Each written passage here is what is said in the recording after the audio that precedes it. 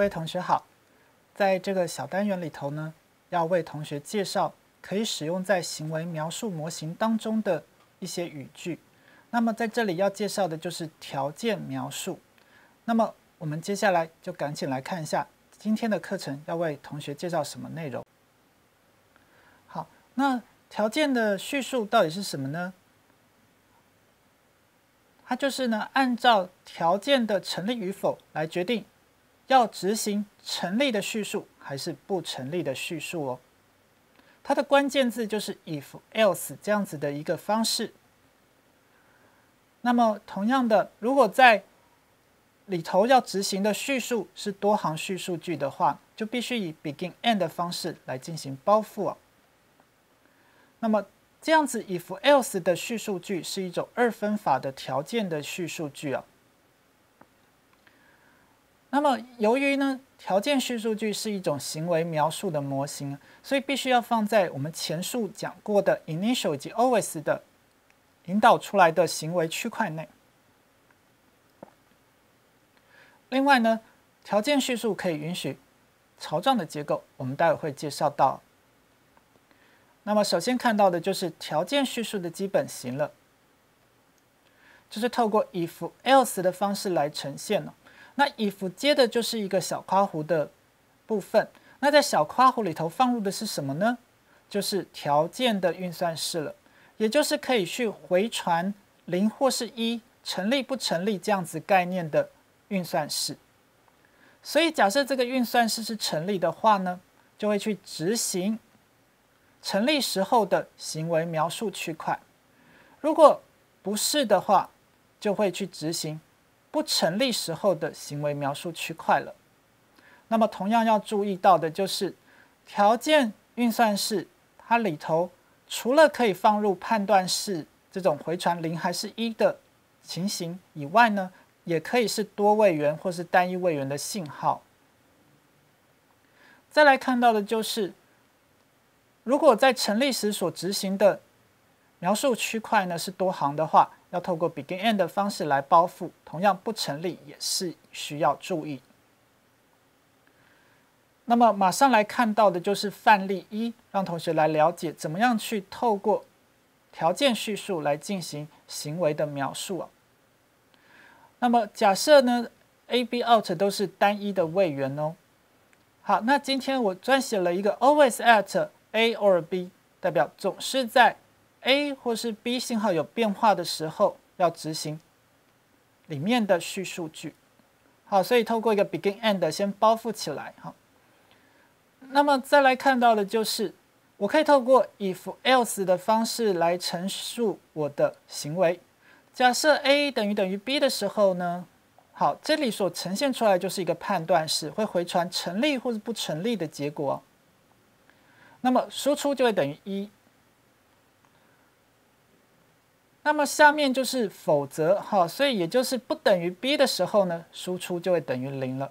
好，透过这个简单的例子，就可以了解怎么样去使用 if 的条件了。还要特别注意一下哈，在 always 里头的等号左边的信号，一定要记得宣告成 reg 资料形态。接下来我们再看到范例二的部分，输入信号 a、b、c 两个位元，out 为两个位元。好，透过一个 always at 小括弧的方式来描述这样子的条件哦。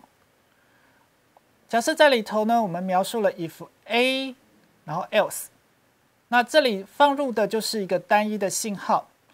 那到底 a 是多个位元，到底它是为真还是为假，就可以透过好，如果今天 a 为非零的情况下的话呢，就会为真哦，所以 out 就会等于 b。否则，也就是代表 a 等于零的时候，好，就是为假了。好，所以 out 就会等于 c 了。那可以看到，就是到底哪些信号必须放到我的事件表示式里头呢？好，因为 a 会影响我的结果，b 跟 c 也会影响我的输出结果，所以记得要把 a or b or c 放进去。同样的，不要忘记喽，要去定义好我的。等号左边的信号是 reg 资料形态，而且因为 out 是两个位元，所以一定要把位元数标示清楚。好，再来看到的就是怎么样去描述一个槽状结构的。好，我们在这里举例，A、B 是一个位元，out 为两个位元哦。好，那透过这个总是在 A 或是 B 有变化的时候哦，好，会去执行区块内部的内容。If A 等于成立的时候，好，我就会去执行下述的叙述句。所以我可以在 A 成立，也就是 A 等于好非零的情况下，A 等于一的时候呢，又可以再进行一层的 if else 的描述啊。那在这里，我们透过 B 来好带当做这个条件哦。所以也就是当 A 等于一，B 等于一的情况之下呢，我的输出会等于零一啊。那另外一种情形呢，好，否则的话呢，好就会等于一零啊。再来看到的是外层的这个 if else，好就会，否则的话呢，out 就会等于零零的情况。所以呢，当 A 等于零，好，out 就会等于零零。